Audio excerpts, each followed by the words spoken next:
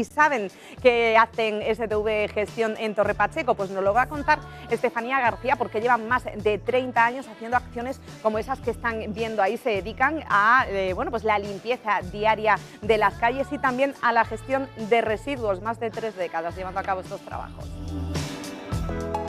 ¿Saben separar correctamente los residuos en casa? ¿Y saben también la importancia que tiene esto para el medio ambiente? Hoy nos resuelven estas y otras dudas desde STV Gestión. En primer lugar, vamos a empezar explicando qué es una isla de contenedores. Es un grupo de contenedores donde todos los ciudadanos pueden depositar las distintas fracciones de residuos que se pueden generar dentro de la casa. Es decir, pues podemos tener, empezamos por ahí, por ejemplo, hay dos contenedores de vidrio donde se echan todos los envases de, vidrio, no cualquier cristal, sino solo lo que es envase de vidrio.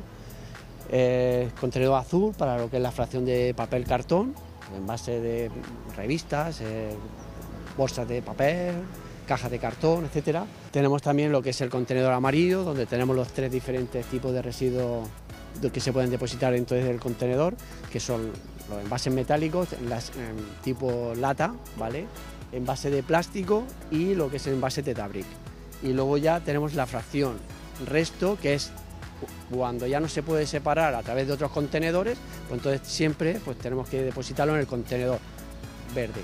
Está en un futuro que estamos que, se introducirá lo que es la fracción orgánica, que ya en la mayoría de todos los municipios ya es obligatorio lo que es mm, la separación de la fracción orgánica, que será un contenedor marrón y que a lo largo del año pues se introducirá aquí también en el municipio de Torre Pacheco.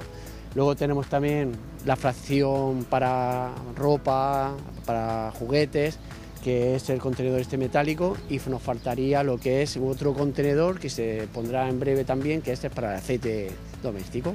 Ciudadano, cuando en origen, en nuestras viviendas, somos capaces de separar los residuos y depositarlos en los contenedores correspondientes, al final lo que estamos contribuyendo es a, favorecer el medio ambiente. ¿Por qué? Pues porque cuando se depositan se pueden gestionar bien esos contenedores y ese residuo al final acaba con un tratamiento correcto.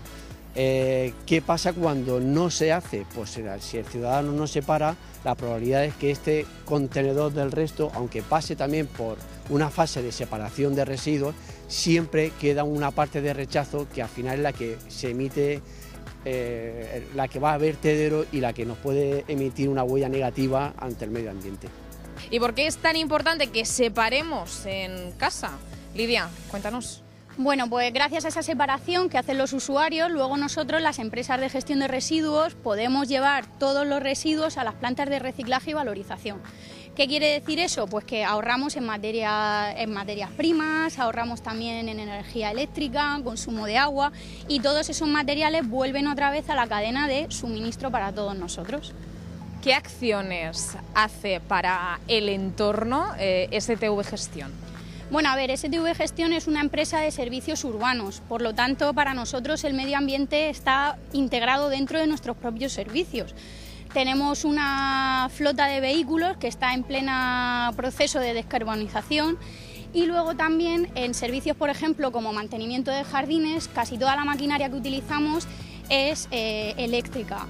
Luego también en los servicios de limpieza de edificios utilizamos productos ecocertificados y luego en servicios de ciclos integral del agua o incluso de limpieza viaria eh, tenemos una maquinaria que produce un ahorro hídrico con la última tecnología.